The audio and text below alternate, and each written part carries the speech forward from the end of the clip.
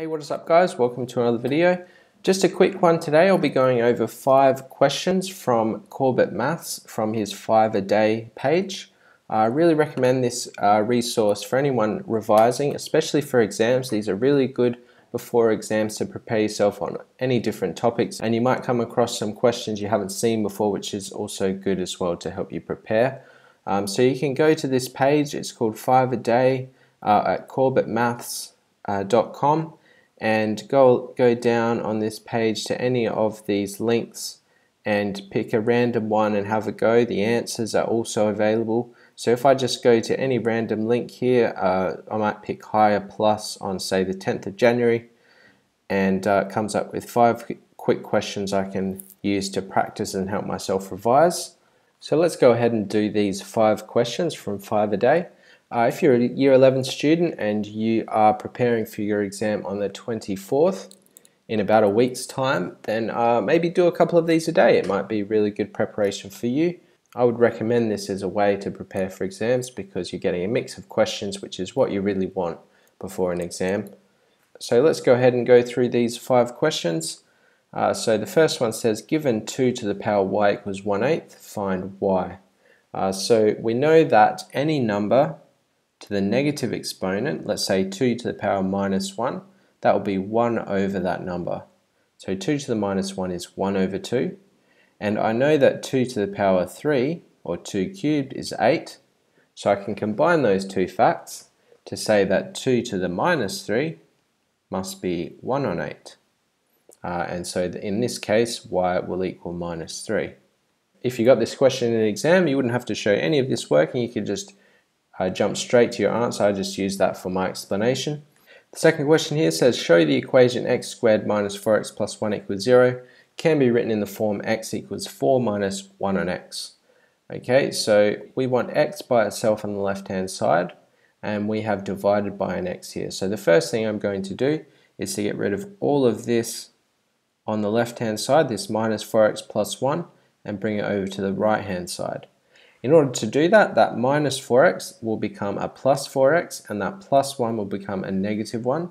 So my next line of working will be x squared equals 4x minus 1. The signs there have changed because I've brought that over to the right hand side. And then I want to divide everything by x because I've got this x squared which is like x times x. So if I, I just want one x by itself on the left, I need to divide everything by x and uh, 4x divided by x is 4 and 1 divided by x is 1 on x. So there you have the answer here. It's I've taken two steps to get there and that should be fine for an exam situation. Usually just a one mark question those ones. Question 3 here says starting with x, 0, x sub 0 equals 3, use the iteration formula x sub n plus 1 equals 4 minus 1 on x sub n twice to find an estimate of the solution of x squared minus 4x plus 1 equals 0. Okay, so usually these iterations questions are used with cubics. Usually we wouldn't use an iteration to solve a quadratic, but it might come up. It is possible, so uh, it's still good practice anyway, regardless of, its, of if it's a quadratic or a cubic anyway. Okay, so we're starting with x sub 0 equals 3. We need to substitute that 3 in where the x sub n is, in this formula. Uh, so we can say that x sub 1, the next iteration, will be 4 minus 1 on 3. So I've just put that 3 in where the x is in the formula. And 4 minus a third, well that's going to be 3 and 2 thirds. And I might change that to an improper fraction. So I multiply the 3 by the 3 and add 2. So 3 times 3 is 9 plus 2 is 11 on 3. Okay, so x sub 1 is 11 on 3 and x sub 2 I need to do it twice. So I take that answer and substitute it into this formula again and I get 4 minus 1 on 11 on 3 okay? And also you, you could do this with the calculator as well but keep in mind this could come up in, in the non-calculator exam. You never know and you might have to do this somehow with fractions and without a calculator. So maybe practice without a calculator on occasion is still useful.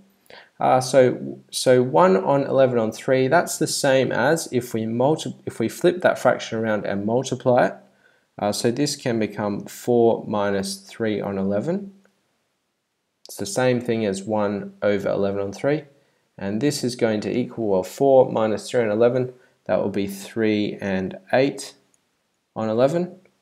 So that's just the difference between 11 and 8 there is 3. So we get 3 and 8 on 11 and if I change that to a mixed fraction 3 times 11 is 33 plus 8 that's 41 on 11. So x sub 2 is 41 on 11 for my final answer. The last question gives us a triangle and it says ABC is a triangle, M lies on BC such that BM equals 4 fifths BC. Express these vectors in terms of x and y. Okay, so here we have the vector y and the vector x, and it's asking us to express BC in terms of x and y. Well, think of this as a parallelogram. That's one way to think of it. And uh, we could say that if we took the vector x out here, and to get back to C, uh, we need to take the negative of y to get back to C. So this is x and this is negative y. And we've drawn a parallelogram there to get from B to C. So we could say BC is x minus y. And uh, then we need BM in terms of x and y. Well, we're told that m is 4 fifths BC. So we could say that's 4 fifths of x minus y. Remember that BC was x minus y, so I've just written that in terms of x minus y, and then expand those brackets out, so we get 4 fifths x minus 4 fifths y. And then we need AM, so A is here and M is here, in terms of X and Y. Well, I need to go from A to B first, that's Y, and then B to M, and we have BM here as a vector, so I can say that AM will be Y plus 4 fifths X minus 4 fifths Y, and uh, Y minus 4 fifths Y, well, that will be 1 fifth Y, so AM ends up being 4 fifths X minus, uh, sorry, plus 1 fifth y. And that's the five quick questions done. I know I've brought this resource up before, but as I'm posting this video with about a week or so to go until the exams, I thought I would bring it up again. Leave a comment letting other students know how you're preparing. Uh, maybe you want to help somebody out by leaving some tips in the comments. That would be really useful. Uh, thanks for watching. If you found this useful, leave a like. Subscribe if you want to see more content, and I'll see you in the next one. Bye for now.